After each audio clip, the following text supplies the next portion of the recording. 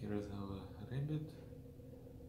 Two days later, some strange, perhaps neurological, neurological stuff is being seen. I'll show you right now. It's quite strange. Yeah, by the way, it's normally. Yeah, look, look. That's how she's moving. Yeah, you see? And like that. She's basically disoriented horizontally, not vertically. Hopefully, it will be gone as soon as possible. Hopefully, she will get over it.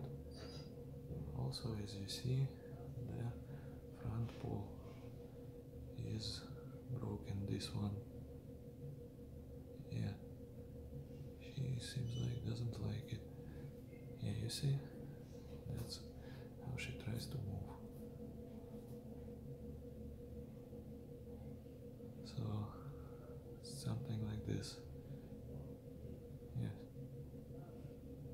And, yeah, she is almost like scared of me, but I don't know, there is something else. She nods her head strangely. And look. Oh, that's because of the pain in the uh, leg, I think. But still, strange, strange, strange stuff.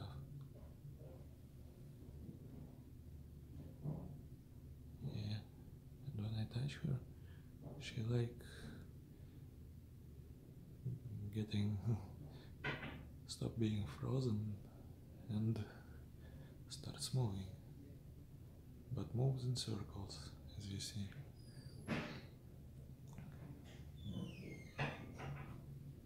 Yeah, like this.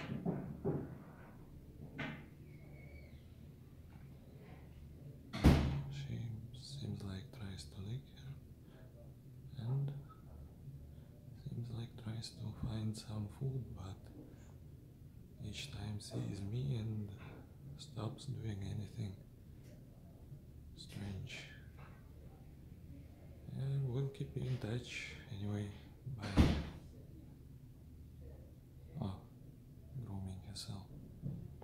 And you see, she turns her head, which is not like it would be.